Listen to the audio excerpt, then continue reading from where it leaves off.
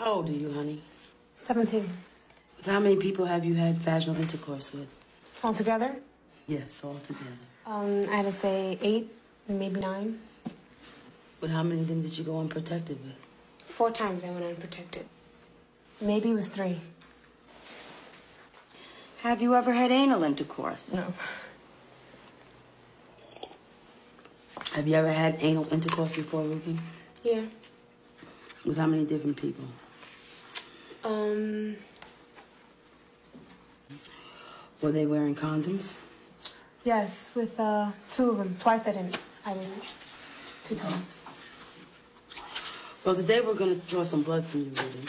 And you come back in seven days, and we should have the results of your tests. Okay? Thanks. Talking about console, yeah. I don't think I want to be seeing you anymore. You know, I want to date other people. He's just having a huge titty attack. I don't know. I think he's mad at me or something, but who cares? It's just like, come on, get off your high horse. I want to see other guys. I can go and I can see other guys. So it's just like, uh, I can't deal with that jealous crap. You know, I'm not going to stay with him. I don't even know why I see him in the first place. Such a jerk. Give me a hard time, that crap. I think I'm just going to jump him completely. I was just trying to be nice. He's going to get a huge stay with me. Jesus, must have been something I ate. Ruby, follow me. Wish me luck. Good luck.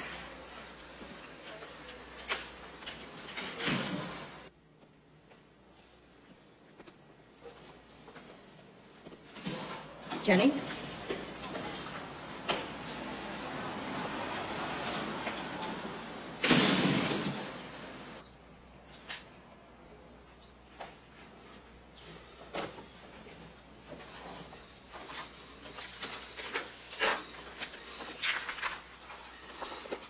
Well, girl, you tested negative for all sexually transmitted diseases and infections. Yes. You're clean. Oh, God, I can't tell you how nervous I was. I didn't even sleep last night. But now you have to be careful, Ruby, okay? I want you to take these pamphlets home and I want you to read them. And Ruby, read them. Jenny, you've tested positive for the HIV virus. What?